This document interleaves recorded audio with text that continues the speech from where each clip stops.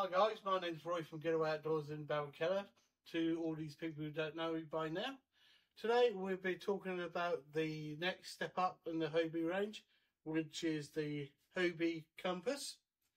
It's got a little bit more features on it than the, um, the Passport. Um, as we start off with the main things here, you have got the new Arc 180 drive with kick up. So that's different from the thing, which is just a standard arc. Again, I'll just quick demonstrate. You got forward and reverse. So when you put them, you see the fins turn round. From the forward, go back to forward mode. And also with the compass, comes with a slightly um, better seat on there. A little bit more adjustable, a little bit more comfort on, on that way and also the paddle is a fiberglass paddle still classed as an offset uh, offset paddle sorry guys. As you see the Hobie is slightly wider just over three meters. Um, just um, under um, one meter wide. I think it's 0.86 wide. So it's nice and stable to begin with. And the other sort of features you've got on the compass you've got a cargo um, area here, all secured under a mesh mat sort of system there.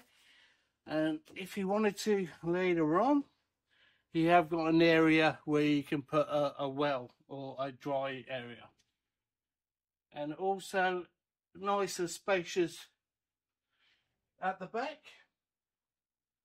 As you see there, you can put a live well and you can actually carry a tackle box or uh, a, a bait box, things like that.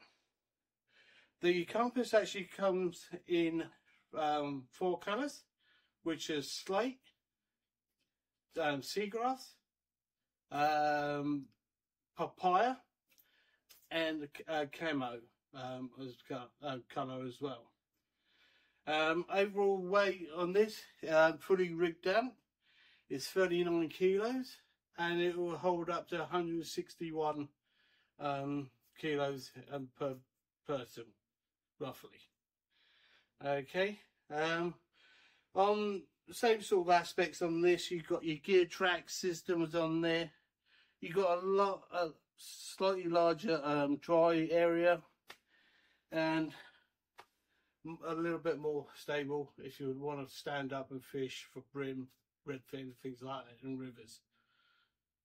Okay guys, this is the camouflage compass.